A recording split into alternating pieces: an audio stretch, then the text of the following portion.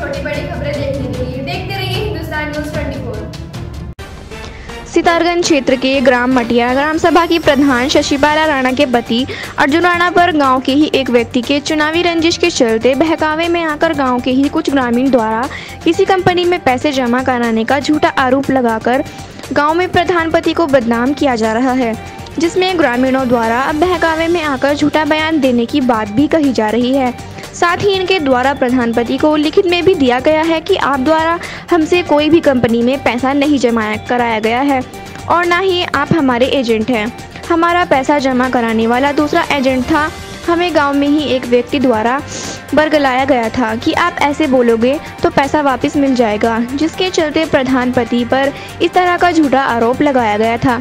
अब उन ग्रामीणों का कहना है कि यूनिमैक्स प्राइवेट ली कंपनी में हमने दूसरे एजेंट के ज़रिए पैसे जमा कराए थे, जिसमें हमारा प्रधानपति अर्जुन राणा ना तो एजेंट था और ना ही हमने कोई पैसा जमा कराने को दिया था।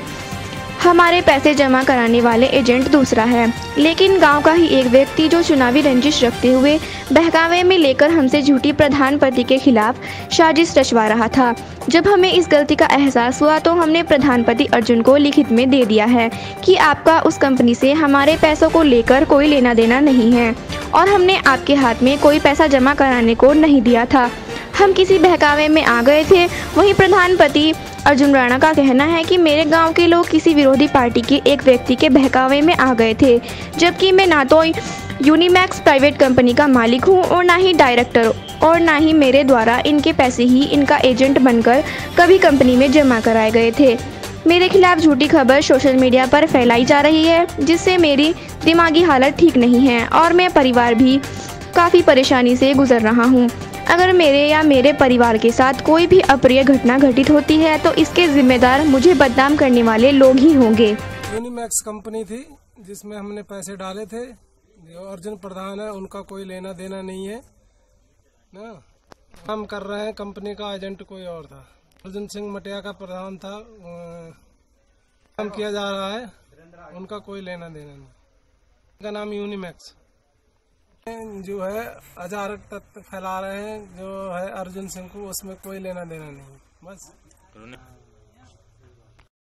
जो कंपनी है इसमें पैसा जमा किया था। लेकिन एजेंट ये नहीं एजेंट कोई और था ठीक है? और यहाँ गाँव के ही लोगों ने मुझे भड़काया था। जो थे आए थे मेरे पास गाँव के लोग इन्हीं ने मुझे भड़काया था। बाकी कोई ऐसी बात नहीं है, इनसे कोई लेना देना नहीं मेरा। ग्राम प्रधान मटिया के अर्जुन सिंह, जो हमारे भाई भी हैं, ऐसी बात नहीं है, हमसे, उनसे कोई ऐसी लड़ाई झगड़ा हमारा थोड़ी है। लेकिन ये जो गाँव के लोग हैं, मटिया के ही, कुछ पैसे जिनके थे, उन्हीं ने मुझे बहकाया था। कुछ मेरे ही ग्राम सभा के लोग मेरे खिलाफ साजिश के तहत एक वीडियो बनवाई और उसे मुझे बदनाम करने के लिए पूरी साजिश रची गई। जिसमें मेरे मान सम्मान को बहुत ठेस पहुँचा।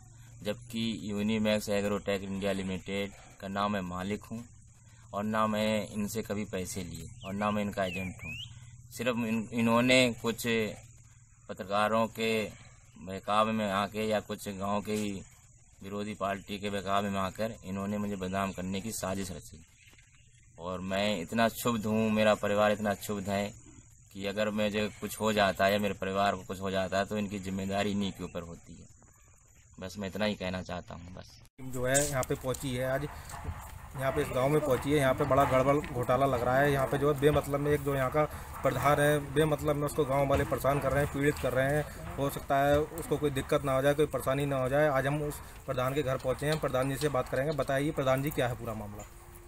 मामला ये था कि मेरे गाँव वालों ने मेरे खिलाफ एक बयानबाजी करी थी कि मैं उनके पैसे खा गया हूँ और मैं एक कंपनी का मालिक हूँ। तो मैं आपके माध्यम से कहना चाहता हूँ कि ना तो मैं उस कंपनी का मालिक हूँ और ना मैं कभी उनसे पैसे लेने गया और ना लिया। लिया होगा तो किसी और ने लिया, लेकिन मैं, मैंने पैसे कभी उनसे नहीं लिए और ना उनके पास कोई एविडेंस है, ना साबूत है। बस किसी से गुमराह होके गरीब जनता है और भोली वाली जनता है, किसी किसी ने गुमराह करके उनको मेरे खिलाफ बयानबाजी कराई, मुझे बदनाम करने के लिए। और जब मुझे बदनाम किया गया तो मेरे मान सम्मान को बहुत ठेस पहुँची, और मैं मैं मैं क्या मेरा पूरा परिवार इस घटना से बड़ा क्षुब्ध है? और क्या कहूँ, बस दुखी हूँ। आज हम पहुँचे हैं हिंदुस्तान न्यूज़ ट्वेंटी फोर की जो रिपोर्ट है यहाँ पे दिखाने के लिए पहुँचे हैं, और इन्होंने जो है अपनी सारी बातें बताई प्रधान जी ने। अब देखते हैं कि गाँव वाले अब जो है, आगे मुझे लगता है ऐसा कोई अराजक तत्व गाँव में ना फैलाएँ। सितारगंज से हिंदुस्तान न्यूज़ ट्वेंटी के लिए दीपक भारद्वाज की रिपोर्ट।